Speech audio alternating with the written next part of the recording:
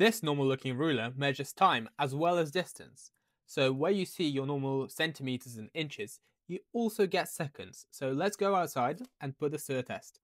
So to measure time with this, all I need to do is to find the amount of time I want to measure on here, and I'm going to set it to two seconds. Find a ledge where I can swing it, raise it up to 60 degrees, anything below will work as well.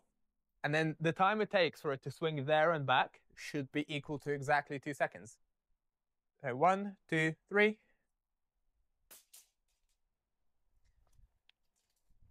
Every time the first time just doesn't work. Let's try again.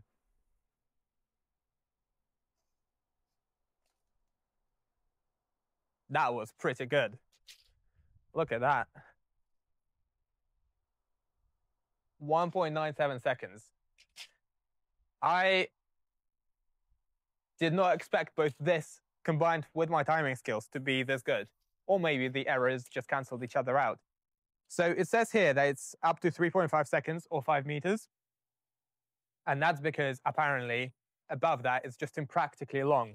And I've had a look, and to measure 3.5 seconds, you'd need to go to 3.7 meters.